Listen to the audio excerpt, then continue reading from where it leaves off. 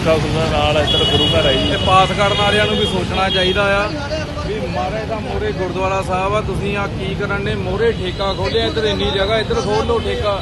ਹਨਾ, ਠੇਕਾ ਜ਼ਰੂਰੀ ਥੋੜੀ ਆ। ਮਹਾਰਾਜ ਜੀ ਦੇ ਪਵਿੱਤਰ ਬਾਣੀ ਚੱਲਦੀ, ਸਾਰਾ ਕੁਝ ਚੱਲਦਾ ਆ।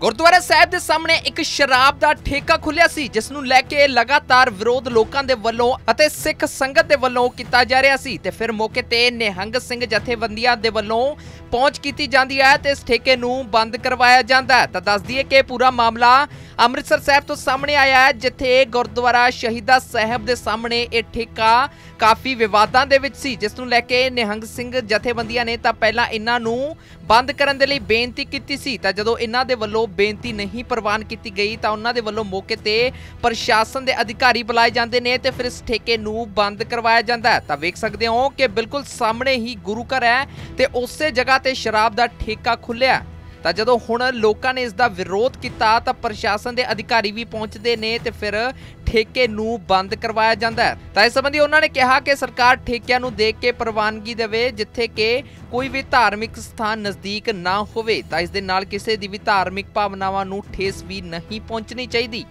ਗੁਰਦੁਆਰਾ ਸਾਹਿਬ ਦੇ ਸਾਹਮਣੇ ਇੱਕ ਸ਼ਰਾਬ ਦਾ ਠੇਕਾ ਖੁੱਲਿਆ ਸੀ, ਜਿਸ ਨੂੰ ਲੈ ਕੇ ਲਗਾਤਾਰ ਵਿਰੋਧ ਲੋਕਾਂ ਦੇ ਵੱਲੋਂ ਅਤੇ ਸਿੱਖ ਸੰਗਤ ਦੇ ਵੱਲੋਂ ਕੀਤਾ ਜਾ ਰਿਹਾ ਸੀ ਤੇ ਫਿਰ ਮੌਕੇ ਤੇ ਨਿਹੰਗ ਸਿੰਘ ਜਥੇਬੰਦੀਆਂ ਦੇ ਵੱਲੋਂ ਪਹੁੰਚ ਕੀਤੀ ਜਾਂਦੀ ਹੈ ਤੇ ਇਸ ਠੇਕੇ ਨੂੰ ਬੰਦ ਕਰਵਾਇਆ ਜਾਂਦਾ ਹੈ। ਤਾਂ ਦੱਸ ਦਈਏ ਕਿ ਪੂਰਾ ਮਾਮਲਾ ਅੰਮ੍ਰਿਤਸਰ ਸਾਹਿਬ ਤੋਂ ਸਾਹਮਣੇ ਆਇਆ ਹੈ, ਜਿੱਥੇ ਗੁਰਦੁਆਰਾ ਸ਼ਹੀਦਾ ਸਾਹਿਬ ਦੇ ਸਾਹਮਣੇ ਇਹ ਠੇਕਾ ਕਾਫੀ ਵਿਵਾਦਾਂ ਦੇ ਵਿੱਚ ਸੀ, ਜਿਸ ਨੂੰ ਲੈ ਕੇ ਨਿਹੰਗ ਸਿੰਘ ਜਥੇਬੰਦੀਆਂ ਨੇ ਤਾਂ ਪਹਿਲਾਂ ਇਹਨਾਂ ਨੂੰ ਬੰਦ ਕਰਨ ਦੇ ਲਈ ਬੇਨਤੀ ਕੀਤੀ ਸੀ, ਤਾਂ ਜਦੋਂ ਇਹਨਾਂ ਦੇ ਵੱਲੋਂ ਬੇਨਤੀ ਨਹੀਂ ਪ੍ਰਵਾਨ ਕੀਤੀ ਗਈ, ਤਾਂ ਉਹਨਾਂ ਦੇ ਵੱਲੋਂ ਮੌਕੇ ਤੇ ਪ੍ਰਸ਼ਾਸਨ ਦੇ ਅਧਿਕਾਰੀ ਬੁਲਾਏ ਜਾਂਦੇ ਨੇ ਤੇ ਫਿਰ ਇਸ ਠੇਕੇ ਨੂੰ ਬੰਦ ਕਰਵਾਇਆ ਜਾਂਦਾ ਹੈ। ਤਾਂ ਵੇਖ ਸਕਦੇ ਹੋ ਕਿ ਬਿਲਕੁਲ ਸਾਹਮਣੇ ਹੀ ਗੁਰੂ ਘਰ ਹੈ ਤੇ ਉਸੇ ਜਗ੍ਹਾ ਤੇ ਸ਼ਰਾਬ ਦਾ ਠੇਕਾ ਖੁੱਲਿਆ ਤਾਂ ਜਦੋਂ ਹੁਣ ਲੋਕਾਂ ਨੇ ਇਸ ਦਾ ਵਿਰੋਧ ਕੀਤਾ, ਤਾਂ ਪ੍ਰਸ਼ਾਸਨ ਦੇ ਅਧਿਕਾਰੀ ਵੀ ਪਹੁੰਚਦੇ ਨੇ ਤੇ ਫਿਰ ਠੇਕੇ ਨੂੰ ਬੰਦ ਕਰਵਾਇਆ ਜਾਂਦਾ ਹੈ। ਤਾਂ ਇਸ ਸੰਬੰਧੀ ਉਹਨਾਂ ਨੇ ਕਿਹਾ ਕਿ ਸਰਕਾਰ ਠੇਕਿਆਂ ਨੂੰ ਦੇਖ ਕੇ ਪ੍ਰਵਾਨਗੀ ਦੇਵੇ, ਜਿੱਥੇ ਕਿ ਕੋਈ ਵੀ ਧਾਰਮਿਕ ਸਥਾਨ ਨਜ਼ਦੀਕ ਨਾ ਹੋਵੇ। ਤਾਂ ਇਸ ਦੇ ਨਾਲ ਕਿਸੇ ਦੀ ਵੀ ਧਾਰਮਿਕ ਭਾਵਨਾਵਾਂ ਨੂੰ ਠੇਸ ਵੀ ਨਹੀਂ ਪਹੁੰਚਣੀ ਚਾਹੀਦੀ।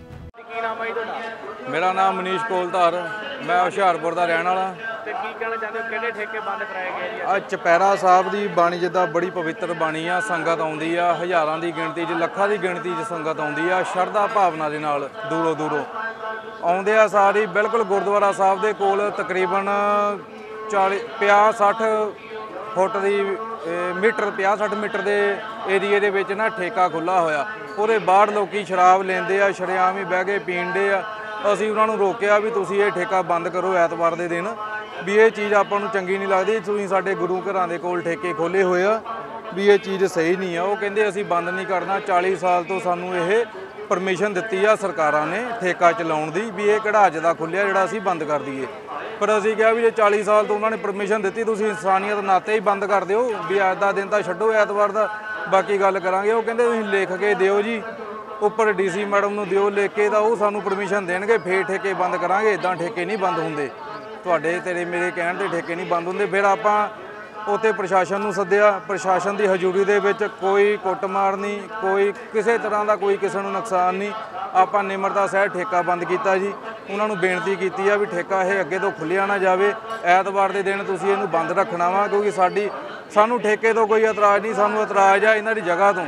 ਸਾਡੇ ਗੁਰੂ ਘਰਾਂ ਦੇ ਕੋਲ ਇਹਨਾਂ ਨੇ ਠੇਕੇ ਖੋਲੇ ਹੋਏ ਆ। ਜੇ ਖੋਲਣੇ ਆ ਤਾਂ ਪਰਾਂ ਨੂੰ ਚੱਲਣ ਜਾਣ 300 ਮੀਟਰ ਤੋਂ ਦੂਰ ਚੱਲ ਜਾਣ ਠੀਕ ਆ ਜੀ, ਉੱਥੇ ਜਾ ਕੇ ਠੇਕੇ ਇੱਕ ਦੇ ਦੋ ਖੋਲਣ ਸਾਨੂੰ ਕੋਈ ਇਤਰਾਜ਼ ਨਹੀਂ।